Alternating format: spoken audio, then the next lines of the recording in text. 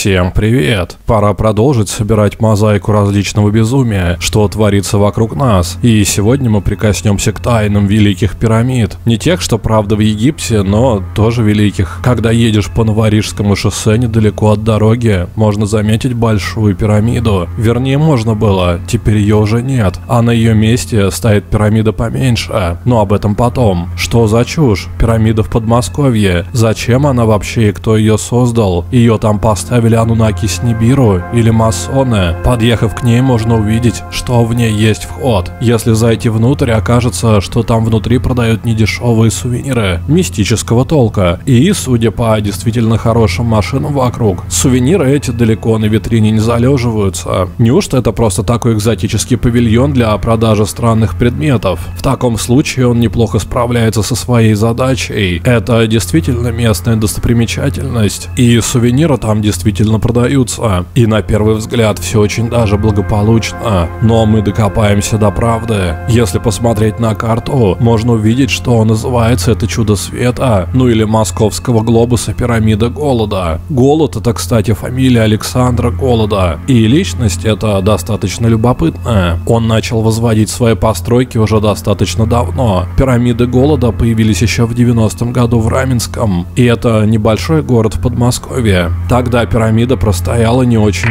долго. Ее снес завод, производящий корейскую лапшу быстрого приготовления. Но автор не сдался и построил еще несколько таких. Например, на одном из нефтяных месторождений. После чего, по заверениям голода, нефть стала менее вязкой и ее стало проще добывать. Затем такая постройка появилась на берегу озера Селигер, где, как говорят, улучшила экологию. А потом в Астрахани, около газоперерабатывающего завода, утверждается, что там она сделала воздух чище. Такая вот борьба за экологию. Последняя имела высоту 22 метра, но 22 метра это как-то мало, так что венцом его творчества стала огромная, высотой 44 метра пирамида на Новорижском шоссе. К сожалению, сейчас на нее посмотреть не получится, потому что в 2017 году ее снесло ураганом, и вместо старого сооружения была построена пирамида поменьше. Как говорят, обломками разрушенной ветром 44 метровой махины был задавлен страус с близлежащей страусиной фермы. Однако развести тут трагедии не выйдет, потому что птица выжила. Но главный вопрос – зачем это все? По словам Голода, пирамида, построенная по принципу золотого сечения, должна особым образом изменять структуру реальности, делая мир более гармоничным. Также пирамида должна останавливать войны, землетрясения и эпидемии. Ну а еще снижать преступность, убирать озоновые новые дыры, восстанавливать экологию и уничтожать бездуховность. В общем, по классике пирамида делает все хорошее и убирает все плохое. Кстати, излечение от всех болезней создатель пирамид тоже обещает. И к этому у меня уже есть вопросы. Потому что если человек вместо лечения будет просто сидеть в пирамиде, вряд ли это закончится чем-то хорошим. И, конечно же, вы можете задаться вопросом, кто вообще поверит в то, что если построить особую пирамидку, сразу решатся все проблемы и уйдут все болезни. И на самом деле много кто, потому что за вполне себе немалые деньги сам мэтр пирамидостроения может построить чудодейственную пирамиду где угодно, хоть у вас на даче. И судя по всему, желающих расстаться с огромной суммой денег ради чудодейственного сооружения огромно. Бизнес процветает, так что как минимум одно чудодейственное свойство у пирамиды бесспорно есть. Это делать Александра Голода богатым. Ну да ладно, в конце концов, это же частные деньги, а не бюджетные. А кто это такое, чтобы лезть в частные дела. А нет, на сайте утверждается, что пирамида также была возведена на территории одной из колоний для влияния на процесс исправления заключенных. И это уже вряд ли было сделано на частные деньги. Поначалу я думал, что чудодейственные свойства пирамид это какая-то летающая в воздухе идея, так сказать, народный миф. Но оказалось, что это не так. Помогло мне распутать этот клубок утверждения нашего пирамидостроителя о том, что внутри пирамиды сами по себе задачи оттачиваются лезвия, мумифицируются трупы, а вода приобретает особую структуру, которая действует на человека благотворно. Где-то я такое уже слышал, и по этим ключевым словам я нашел еще кое-какую историю, в которой присутствуют все эти элементы.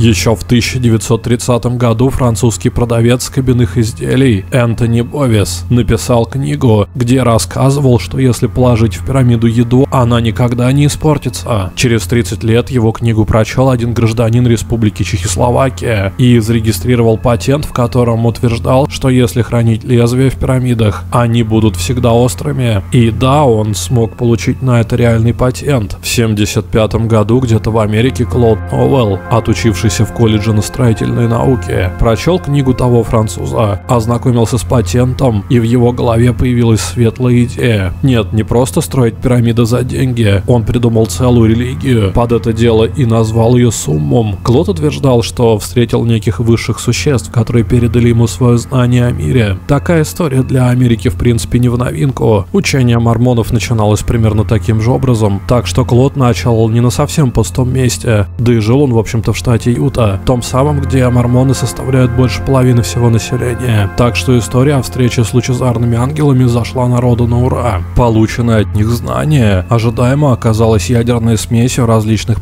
популярных религиозных и философских систем. Кроме очевидного сходства с мормонским учением, там была и герметическая философия, и гностическое христианство, да и просто куча разных медитаций. С медитациями вышло, кстати, особенно интересно, потому что для их правильного исполнения нужно было пить вино. И не простое вино, а обязательно такое, которое хранилось в особой пирамиде. Так что да, не каждый алкоголик может считать себя последователем суммом. Клод пишет, что после того, как высшие существа научили его своей медитации, он сразу погрузился в нее и увидел огромную пирамиду, в которой ему открылась правда о мире. И похоже, этой правдой была цитата истины в вине, потому что Клод создал в итоге свою винодельню, финальной стадией которой было длительное хранение вина в пирамидах. Хотя непонятно, как именно он погрузился в эту медитацию без вина из пирамид. Наверное, вино не только из пирамид все-таки подходит, но пирамида, как выяснилось, не любая подойдет, а только такая, которую Клод построил у себя на участке, по тайным чертежам высших существ. В этом сооружении, по мысли создателя, вино должно приобрести особую структуру. По заверениям автора, в нем появляются магические кристаллы, и оно напитывается особыми энергиями и, возможно, даже силой Земли. Поначалу предприимчивый Клод пытался уйти от налогов тем путем, что заявил производство вина таким вот образом в качестве религиозной практики. Ну то есть это не какая-то там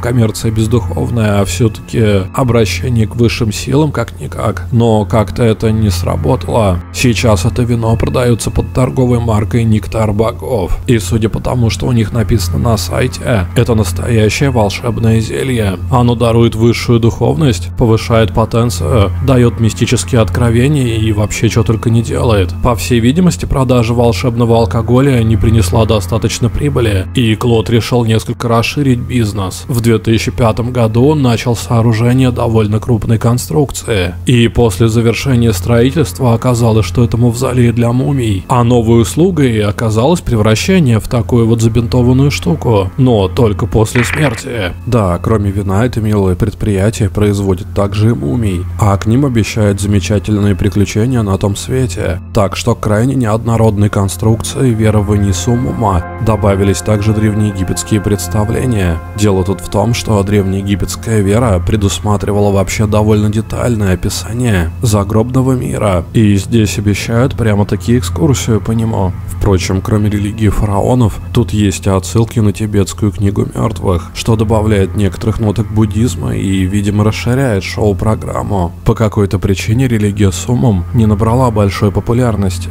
Даже странно, что пошло не так, вроде бы напихали всех самых крутых вещей отовсюду, а людям не понравилось. А вот идея делать вино в пирамидах понравилась многим. Так вместе под названием Саммерхилл с 91 года стоит копия пирамиды Хеопса, и служит она для хранения вина. Владельцы винодельни утверждают, что только их построенная по всем египетским канонам пирамида напитывает напиток эссенцией души мира, что бы это ни значило. Но в целом там просто пересказ того, что мы уже видели. Не портящаяся чудом еда, самозатачивающееся лезвие и структурированное вино. Это уже похоже на то, что мы видели у голода. Хотя про еду у голода вроде бы ничего не было. Что логично. Но его пирамида также обещает особое структурирование жидкостей. Только воды, а не вина. Тут же говорится о магических кристаллах их продают в качестве местных сувениров под видом некой матрицы пирамиды. Также на сайте пирамид голода есть утверждение, что внутри пирамиды мумификация происходит сама по себе. Но вот вместо дикой мешанины самых разных религиозных учений Александр Голод предлагает несколько иное. Само название фирмы, производящей пирамиды, как бы намекает. Компания называется АБО Ноосфера. Так что мы тут снова возвращаемся к идеям профессора Вернадского и группы осознания. Да, все снова вернулось к тому, вокруг чего вертятся все конспирологические теории на просторах СНГ, к ноосфере. Вообще знаете, если на Западе это все сходится к религии, к библейским мотивам, к Богу, то нашему читателю явно ближе другие вещи. Техномагия, ноосфера, та самая область, где все человеческие мысли и идеи находят свое отражение. Такое место, где существует все, о чем вы только успели подумать, даже вайфу Моника. И как же Александр Голод обосновывает действия своих пирамид? Он говорит, что они изменяют структуру окружающего пространства, его геометрию, изменяют диапазон гармонии, образуются информационные матрицы.